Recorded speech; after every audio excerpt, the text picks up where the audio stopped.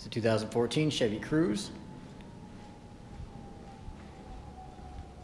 It's a nice, very dark, they call it like a laser blue or something like that. Very dark blue.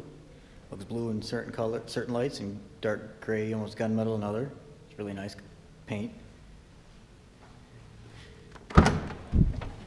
Nice spacious trunk. Steel wheels with, uh, wheel covers in great shape. Interior's in great shape. Nice titanium and black two-tone colors. All your controls on the door. Manual seats. This is a manual car as well, six-speed.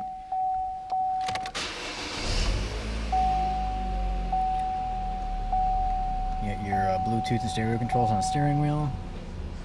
There's your stereo buttons, climate control, door lock and unlock.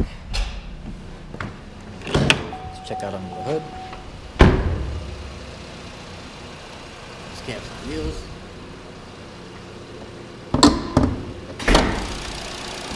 Underneath the hood is your 1.8 liter non-turbo four-cylinder Ecotec. Still great on gas, still plenty of power. It's 2014 Chevy Cruze, a six-speed manual gearbox.